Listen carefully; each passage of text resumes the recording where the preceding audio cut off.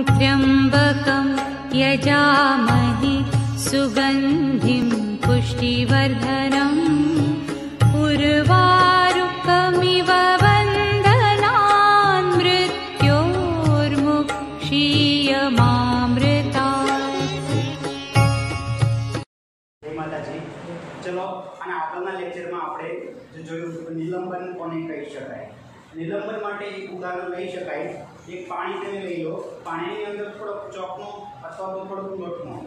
જ્યાં ભૂકો નાખેલો હોય, આ ભૂકો તમે થોડી વાર હલાવશો. તો થોડાક એના કણો છે જે નરી આંખે જોવાતા હશે આપણાથી. એ કણો આખા પાણીની અંદર બધી જગ્યાએ જોવા મળશે આપણને. એની અંદર પૂરા દ્રાવ્ય નહીં થઈ જાય. મતલબ કે ઓગળી નહીં જાય. પરંતુ આખા પાણીની અંદર જોવા મળશે. થોડીક વાર એને રહેવા દઈશું તે બધા નીચે બેસી જશે. પરંતુ કલિલ દ્રાવણ જે આપણો આગળનો ટોપિક છે એના કરતાં થોડો અલગ પડે છે. એના ઉદાહરણ તરીકે લઈ શકાય, આપણે દૂધ. દૂધની અંદર ઘણા બધા કણો હોય છે. એને તમે પાણી કદાચ એની અંદર ઉમેરશો તો પણ એને હલાવીને થોડીક વાર રહેવા દેશો. તો જેમ નિલંબનની અંદર જે થતું હોય, કે નિલંબનમાં થોડી વાર એને સ્થાયી રહેવા દો, કોઈ પણ અડક્યા વગર કે કોઈ પણ એની પર અસર કર્યા વગર, તો નિલંબનમાં શું થાય કે એના બધા જ કણો નીચે તળિયે બેસી જાય. પરંતુ કલિલ દ્રવણમાં આવું કંઈ થતું નથી. દૂધ હોય અથવા તો દૂધની અંદર પાણી નાખી દો, તો પણ એ જે દૂધ છે, એના સમગ્ર વિસ્તારની અંદર જે પાણીનો સમગ્ર વિસ્તાર છે, એમાં સમાન સંગઠન થયેલું હોય એવું દેખાય. એટલે એના કોઈ પણ કણો નીચે બેસી જતા નથી. તો એનું ઉદાહરણ તમે લઈ શકો, દૂધ. દૂધ એ કલિલ દ્રાવણ કહી શકાય. જો આપણે દ્રાવણ શીખતા પહેલા મિશ્રણ કોને કહી શકાય? એ પહેલા શીખી ગયા. મિશ્રણના બે પ્રકાર. એક સમાંગ મિશ્રણ અને બીજું હતું વિસમાંગ મિશ્રણ. તો સમાંગ મિશ્રણ કોને કહેવાય અને વિસમાંગ મિશ્રણ કોને કહેવાય? સમાંગ મિશ્રણ એવું હોય, દાખલા તરીકે તમે પાણીની અંદર મીઠું ઓગાળો છો, તો પછી તમને મીઠાનો કોઈ પણ કણ પાણીમાં દેખાતો નથી. એને થોડી વાર રહેવા દેશો, તો પણ કોઈ પણ કણ તળિયે બેસી જતો નથી. બધે બધું મીઠું પાણીની અંદર ઓગળી જતું હોય, એકદમ ચોખ્ખું પાણી ફરી પાછું દેખાતું હોય, તો એક પ્રકારમાં સમાંગ મિશ્રણ થયું હોય, એમ કહી શકાય. પરંતુ વિષમાંગ મિશ્રણમાં શું થાય? વિષમાંગ મિશ્રણમાં જે પણ ઘટકથી તમે મિશ્રણ આખું મિશ્રણ તૈયાર કરવું છે, એ બંને ઘટક એકદમ એકબીજામાં મિશ્રિત નહીં થઈ જતા હોય. બંને ઘટક અલગ અલગ રહેતા હોય. દાખલા તરીકે તમે પાણી અને તેલ, આ બંને દ્વારા એક મિશ્રણ બનાવો, તો પાણી અને તેલ તમે ગમે એટલું લાવો છો તો એકબીજામાં મિશ્ર ન થાય. એનો મતલબ શું? કે આ સમાંગ મિશ્રણ નથી. તો આ કેવું મિશ્રણ છે? વિસમાંગ મિશ્રણ કહી શકાય. સમાંગ મિશ્રણ અને વિસમાંગ મિશ્રણ. બે ઉદાહરણ. તો એ કલિલ દ્રાવણ છે. આ કલિલ દ્રાવણ મેં તમને ઉદાહરણ આપ્યું કે દૂધ. દૂધ એ કલિલ દ્રાવણ કહી શકાય. તો કલિલ દ્રાવણ મેં કીધું, તો એ સમાંગ મિશ્રણમાં આવશે કે વિસમાંગ મિશ્રણમાં આવશે? જો યાદ રાખો, કલિલ દ્રાવણ છે, દેખાવે એકદમ સમાંગ મિશ્રણ જેવું છે. એટલે આપણને એવું લાગે કે આ બધા ઘટકો છે અને ઓગળી ગયા છે, એને થોડી વાર સ્થાયી રહેવા દેશો અડક્યા વગર તો કોઈ પણ પણ નીચે બેસતા નથી. એ બધું સાચું. લાગે સમાંગ મિશ્રણ જેવું, પરંતુ એ સમાંગ મિશ્રણ નથી. કલિલમય દ્રાવણ એક પ્રકારનું વિસમાંગ મિશ્રણ જ છે. સમાંગ દેખાય છે, પરંતુ સમાંગ નથી. અને જે બધા જ ગુણધર્મો એના બાકીના બધા છે, એ વિસમાંગ જેવા દર્શાવે છે. ચલો આપણે અહીંયા પહેલા જોઈએ. કલિલમય દ્રાવણ માટે જો એક વાત કરીએ, એક પાત્રની અંદર કોઈ કલિલ દ્રાવણ લઈ આપણે કલિલ દ્રાવણનું પદ કેવું હોય? અતિ નાનું હોય. દાખલા તરીકે હું વાત કરું, ચોકનો ભૂકો તમે પાણીની અંદર નાખેલો હતો, એ નિલંબિત દ્રાવણ બન્યું. નિલંબન થયેલું તે ચોકના કણો તમે નરી આંખે જોઈ શકતા. પરંતુ જે કલિલ દ્રાવણ બને છે કલિલ દ્રાવણના કણો બહુ જ નાના હોય છે. એટલે નરી આંખે ના દેખાય એમ સમજી શકાય અથવા દેખાય તો નરી આંખે જોવા ખૂબ જ મુશ્કેલ હોય. તમે દૂધના કણો દૂધની અંદર ન જોઈ શકો. કેમ કે એ કણો ખૂબ જ નાના હોય. એના કણો હોય છે.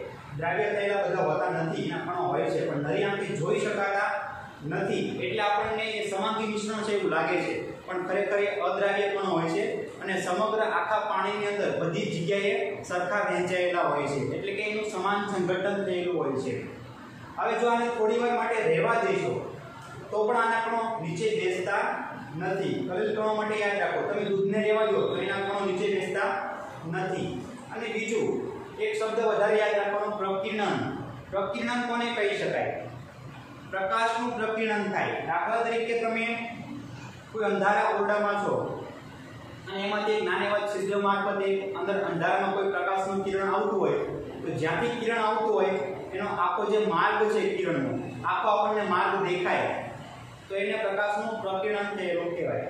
તો જો કોઈ કલિલમય દ્રાવણ હોય, તો મેં વિકરની અંદર આ એક કલિલ દ્રાવણ ભરેલું હોય.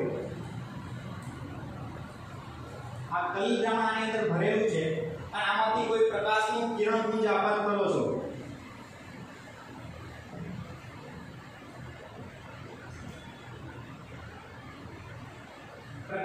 પ્રકાશનું કિરણપુંજ આમાં આપાત કરો છો, તો આ જગ્યાએથી પ્રકાશનું કિરણપુંજ આપાત થાય. તો જો કલિલમય દ્રાવણ હોય, તો કલિલમય દ્રાવણમાં આ જે દ્રાવણ બનેલું છે, એમાં આખો પ્રકાશના કિરણપુંજનો માર્ગ છે, એટલે આખો એટલો પટ્ટો છે, આખો પટ્ટો દેખાય, આખો પટ્ટો દ્રશ્યમાન થાય. બાકી બીજા દાખલા તરીકે પાણી હોય, તમે નકરું એક બીકરમાં પાણી લો, અને એમાંથી પ્રકાશ પસાર કરો તો એમાંથી અહીંયા કોઈ એવો તમને લીટો નહીં દેખાય. પરંતુ કલિલમય દ્રાવણ હોય તો પ્રકાશનો આખો લીસોટો દેખાશે. આને પ્રકાશનું પ્રકિરણન થયેલું કહેવાય. આ ઘટનાને શું કહેવાય? પ્રકિરણન કહી શકાય. જ્યાં પ્રકાશનું પ્રકિરણન થાય છે, એ ઘટનાને એક નવું નામ છે, અસરનું નામ. દાખલા તરીકે વાત કરું કે કલમય દ્રાવણમાંથી. દ્રાવણ કેવું લેવાનું? કલિલમય કલિલમય દ્રાવણમાંથી પ્રકાશનું કિરણપુંજ આપાત કરતા પ્રકાશનો માર્ગ આખો દ્રશ્યમાન થાય અને પ્રકાશનું પ્રકિરણ થાય. આ અસરને ટિન્ડલ અસર કહેવાય. શું કહેવાય? ટિન્ડલ અસર નવું નામ છે. યાદ રાખજો અને સૌથી વધારે મોસ્ટ આઈએમપી ની વ્યાખ્યા પૂછાય. તમને વ્યાખ્યા લખીને જ આપું.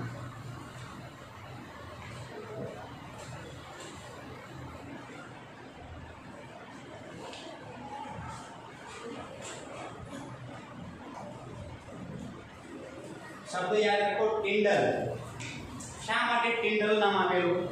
ટિન્ડલ નામના વૈજ્ઞાનિકે આ જણાવેલ માટે એનું નામ ટિન્ડલ આપેલું. વૈજ્ઞાનિકના નામ પરથી ટિન્ડલ નામ પડેલું છે અને જે અસર ઉદ્ભવે છે એને ટિન્ડલ અસર કહે છે. ટિન્ડલ અસર કોને કહેવાય? એની વ્યાખ્યા લખી હોય તો વ્યાખ્યા જ લખી લઈ બુકમાં નથી આપેલી.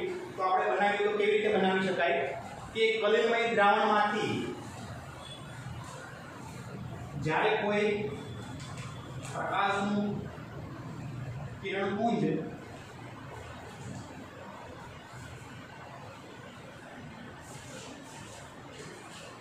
કલિલમય દ્રાવણમાં દ્રાવણમાંથી પસાર થાય થાય ત્યારે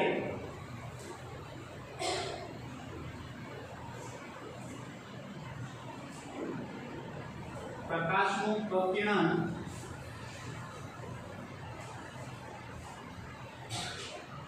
થાય છે. અને પ્રકાશનો માર્ગ દૃશ્યમાન થાય છે.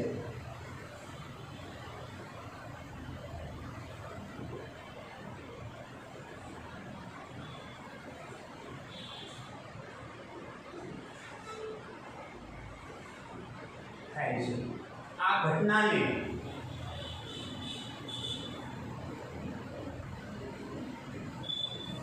ટિન્ડલ અસર કહે છે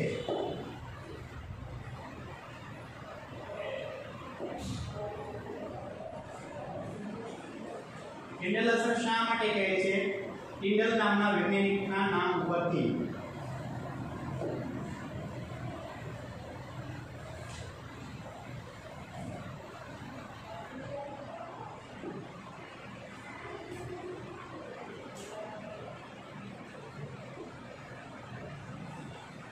ટિન્ડલ નામના વૈજ્ઞાનિકના નામ પરથી આ ઘટનાનું નામ આપેલું છે કિન્ડલ અસર.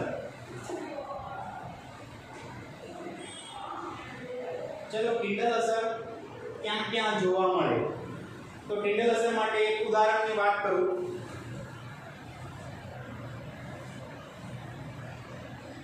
બંધ ઓરડામાં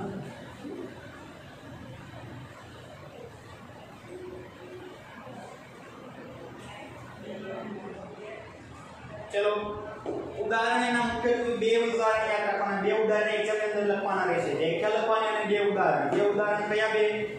એક અંધારાવાળો બંધ ઓરડો હોય અને બંધ ઓરડાની અંદર કોઈ એક છિદ્ર હોય, તો એ છિદ્રની મારફતે કોઈ બારી હોય, તો બારીનું કોઈ છિદ્ર, અથવા તો કોઈ બીજે કોઈ જગ્યાએ કોઈ છિદ્ર હોય, તો એ છિદ્ર મારફતે આખો પ્રકાશ છે કે અંધારાવાળા આખા ઓરડાની અંદર આવતો હોય. તો જ્યારે અંધારાવાળા ઓરડાની અંદર આ પ્રકાશ આવતો હોય ત્યારે પ્રકાશનો આખે આખો માર્ગ દ્રશ્યમાન થઈ જાય. આ દ્રશ્યમાન થઈ જાય એ માર્ગને શું કહેવાય આપણે? ઘટના આખી બને એને ટિંડલ અસર કહેવાય. માર્ગ બને છે એને પ્રકીર્ણન થયેલું કહેવાય. ઘટના કઈ? ટિંડલ અસર. અને એને ઘટનાના આપણે થયેલું કહી શકાય. પ્રકાશનું પ્રકીર્ણન ચલો, ઉદાહરણ માટે એક ઉદાહરણ વાત કરીએ કે બંધ ઓરડામાં પ્રકાશ આવે ત્યારે આ ઘટના દેખાય. બીજે ક્યાં દેખાય? ગાઢ જંગલ હોય. ગાઢ જંગલની અંદર પણ અંધારું હોય છે ત્યાં નીચે સુધી પ્રકાશ નથી આવતો. જ્યારે એટલા બધા મોટા વૃક્ષો થઈ ગયા હોય, ત્યારે નીચે પ્રકાશ નથી પહોંચી શકતો. એવા સમય દરમિયાન એક બે વૃક્ષો વચ્ચેથી ક્યાંક એવું છિદ્ર રહી જતું હોય, કે જ્યાંથી પ્રકાશ છે એ નીચે જમીન સુધી આવી જતો હોય. બાકી બધે અંધારું હોય.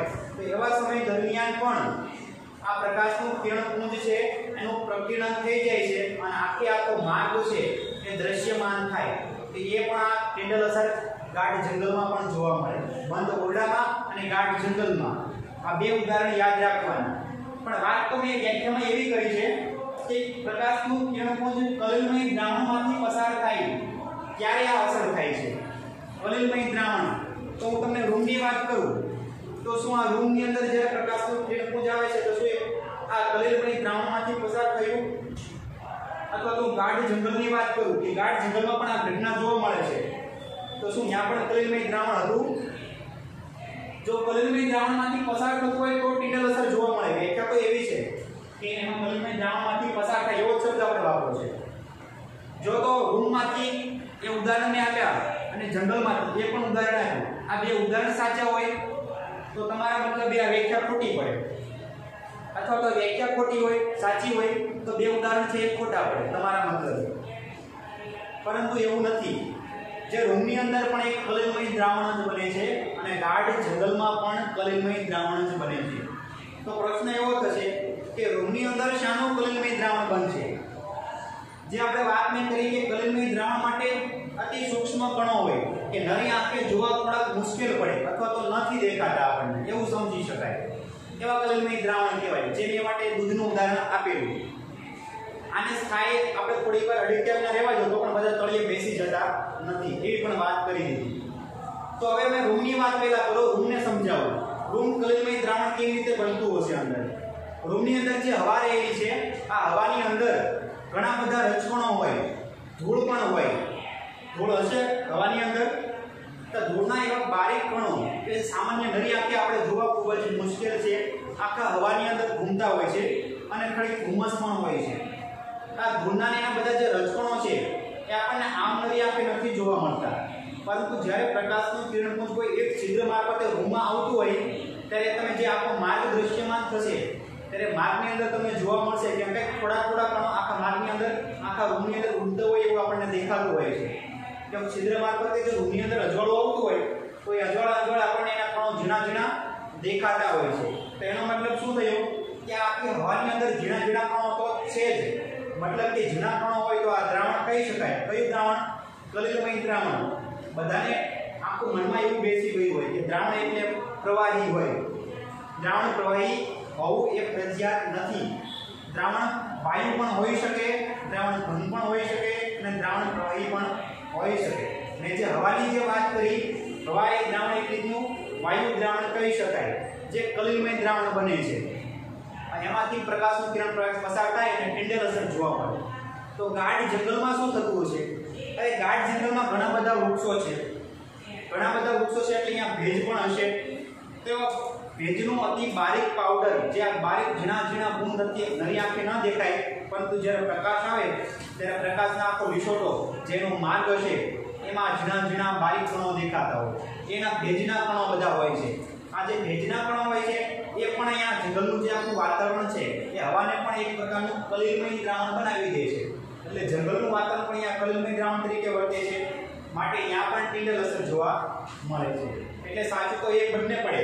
રૂમની અંદર પણ કલિલમય દ્રાવણ ઉદ્ભવે છે અને ગાઢ જંગલમાં પણ કલિલમય દ્રાવણ ઉદ્ભવે છે. કેમ કે રૂમની અંદર ઝીણા ઝીણા રજકણો હોય છે અને ગાઢ જંગલમાં ભેજના પણ ઝીણા ઝીણા કણો હોય છે. આ કણોના લીધે બે જગ્યાએ કલિલમય દ્રાવણ હોય છે અને બંને જગ્યાએ કલિલમય દ્રાવણ છે માટે બંને જગ્યાએ પ્રકાશ દ્વારા કેન્ડલ અસર પણ જોવા મળે છે. ચલો, આ રેખા સમજી લીધી. ઉદાહરણ પણ બે આપેલા. બંને ઉદાહરણ પણ સાથે લખવાના છે. બંને ઉદાહરણ રૂમમાં અને ગાઢ જંગલમાં. હવે એની સિવાય હજી આપણે આના થોડા ગુણધર્મો જોઈએ.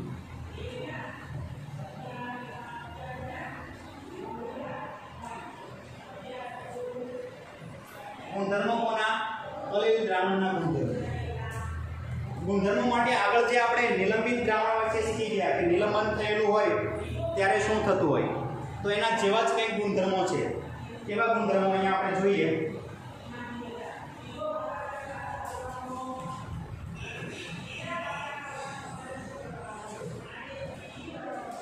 ગુણધર્મો માટે આપણે પહેલું લઈએ. કે કલેલમય દ્રાવણની અંદર જે કણો છે, એના કણો એટલા નાના હોય છે એને નરી આંખે જોવા મુશ્કેલ હોય છે.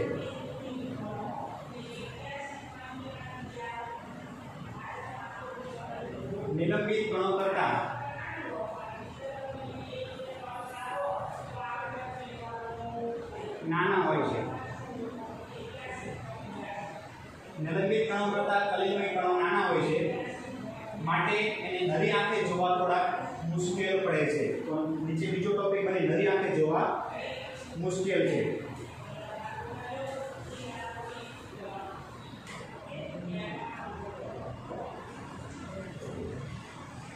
બીજો પણ મેં આગળ જ વાત કરી દીધી કે કલેલમય દ્રાવણ જો હશે, તો કલેલમય દ્રાવણને તમે થોડીક વાર રહેવા દેશો, તો પણ એના કણો નીચે તળિયે બેસી જતા નથી.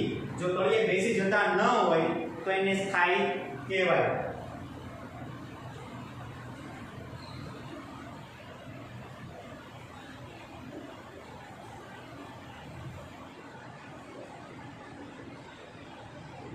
થોડી વાર રહેવા દેવા છતાં તળિયે બેસી જતા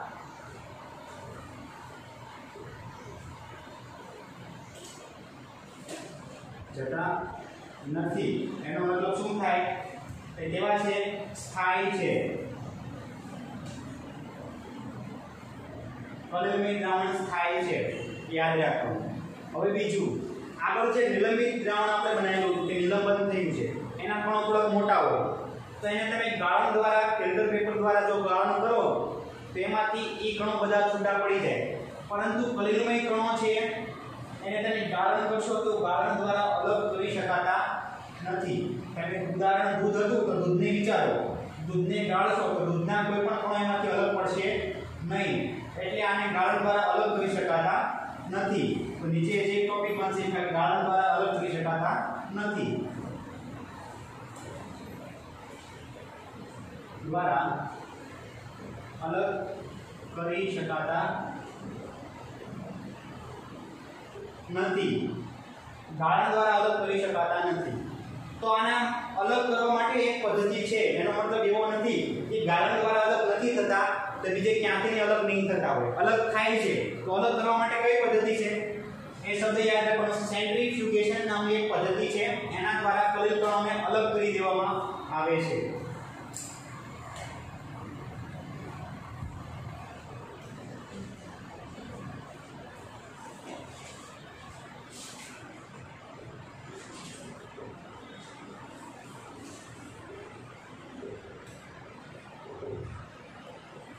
સેન્ટ્રીફ્યુગેશન પદ્ધતિ દ્વારા અલગ કણો અલગ કરી શકાય છે. અને બીજો હજે એક શબ્દ કે ખલેલમય કણો પ્રકાશના કિરણનું પ્રકિરણ કરે છે. પ્રકિરણ થતું, માટે સ્પિન્ડલ અસર થતી. તો અહીંયા લખી શકાય કે પ્રકાશના કિરણનું પ્રકિરણ કરે છે